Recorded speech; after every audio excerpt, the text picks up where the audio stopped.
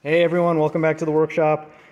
This is the tail shaft housing off the transmission of my Buick Wildcat. It's a TH400.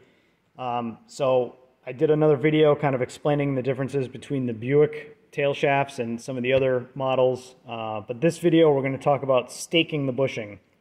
Uh, so, you know, because this bushing, it's just press fit in here. Um, you know, not, not super tight, but it's tight. You can't push it in by hand. I use my press. But because there's a rotating shaft from the drive shaft that goes in here and rubs against here, and you get, you know, temperature changes and, you know, vibration and all that stuff, it's possible that it could start to spin inside the housing. So they, the book, the shop manual tells you to stake it. And I had no idea how to do that, but they give you a tool number. And this is the tool. Uh, I don't have the number. Do I have the number? Can't really see it, but I'll post it in the description. But this is the tool number that they have. I found one on eBay.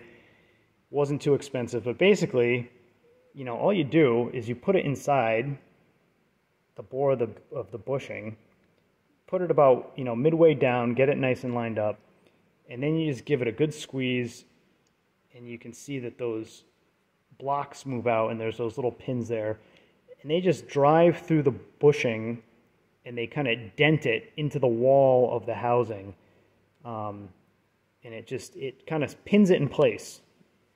And you can see the little hole there, not a hole, but an indent, makes one on both sides. And it just kind of holds it there so it can't loosen up and spin in the shaft. And this is the old one, and it doesn't make it impossible to press out. It just flattens out as you press it, but you can see them there.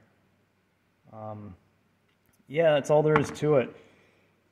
Um, yeah, so I don't know if there's other generic tools.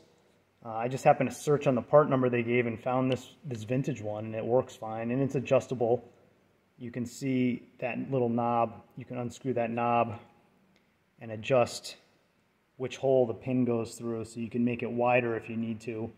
So I think this is kind of universal for, for other things, because uh, you can't, well, maybe you can take a, a, a drift and like, you know, punch it from the side, but it'd be kind of tough to get to get something in there.